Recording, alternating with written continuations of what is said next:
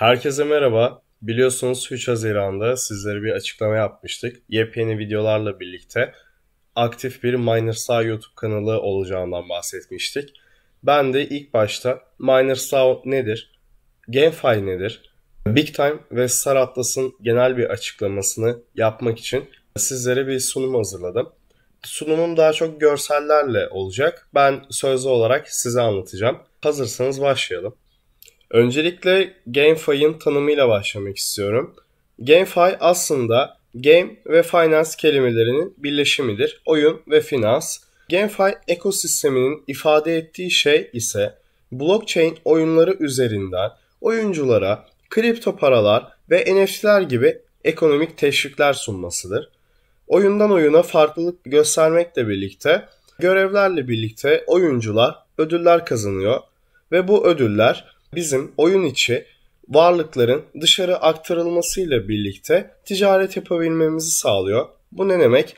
Atıyorum biz bir oyun oynuyoruz ve oradan bir item düşürüyoruz. Bu item bir parasal değeri oluyor. Biz bunu marketplace'lerden sattığımızda başka bir oyuncuya parasal bir değere sahip, gerçek reel anlamda parasal değere sahip ödül almış oluyoruz. Bu ödüller kripto para birimleri olabiliyor, sanal araziler olabiliyor, avatarlar ve kostümler gibi oyun içinde kullanılabilecek NFT formatındaki ürünler oluyor genellikle. Şu anda birçok oyun, bildiğimiz oyunların birçoğu pay to play yani oyna ve öde modeliyle birlikte çalışıyor.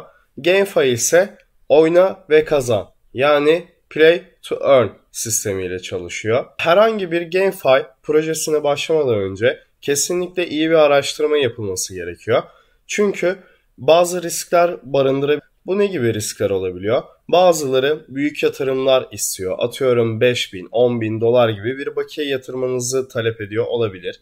Ama geri kazanımı ne kadar sürede ve ne kadar büyüklükte olacağını açıkçası dağılımı ve oyuncu profil oluşturma sistemi ile birlikte araştırabiliriz. Play to Earn sistemiyle birlikte Play to Earn oyunlar oynayarak şu anda Asya'da birçok ülkede insanlar geçimlerini bu şekilde sağlamaya başladı.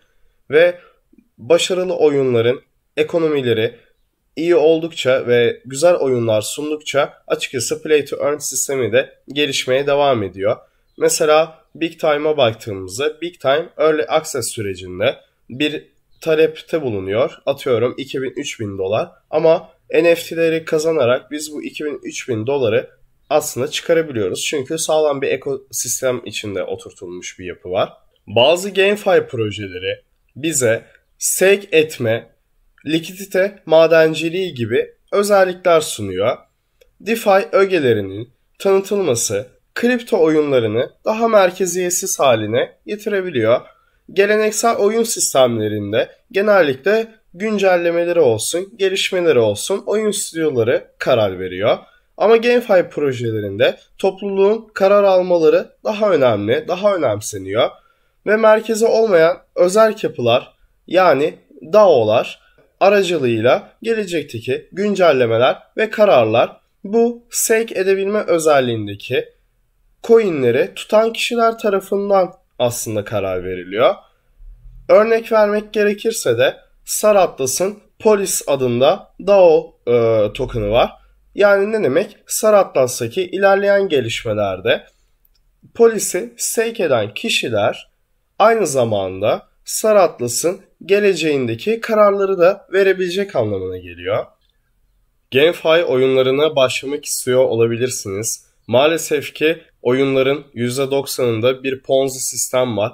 Biz MinerSA olarak videolar çekerek size en kaliteli oyunları sunarak GameFi'ye giriş yapabilmeniz için en doğru oyunları seçmeye çalışacağız. GameFi oyununu araştırdıktan ve doğru olan bir oyunu seçtiğimizi düşündükten sonra genellikle bir dijital cüzdanımızın olması gerekiyor. Trust Wallet olabilir, Metamask olabilir, e, Phantom olabilir. Böyle bir cüzdana ihtiyacımız var. Bu gereksinimler oyun içindeki itemleri barındırabilmemizi sağlıyor. O yüzden de kıymetli.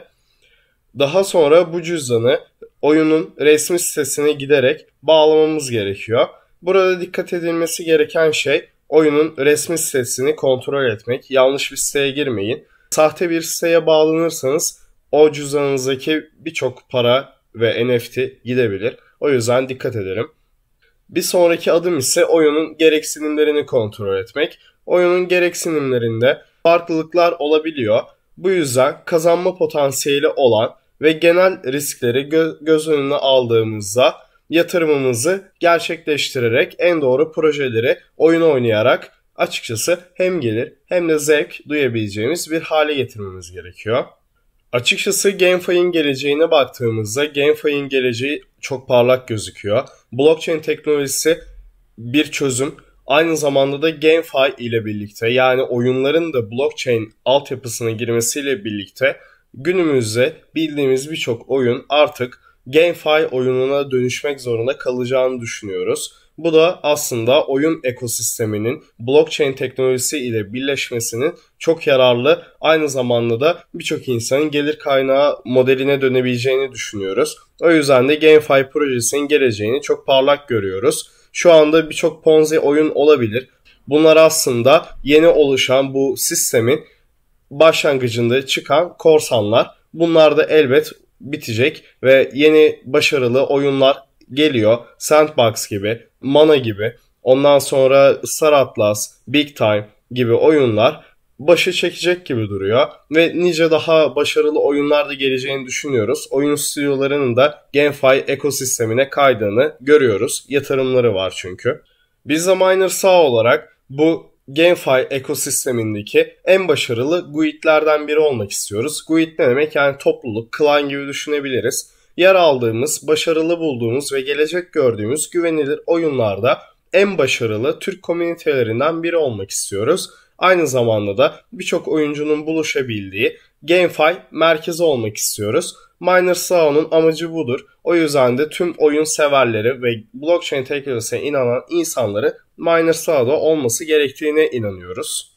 Miner SAO olarak iki tane oyunda GUID'lik yapıyoruz. En popüler oyunumuz Star Atlas. Star Atlas Miner SAO'nun çok büyük bir kitlesini oluşturuyor.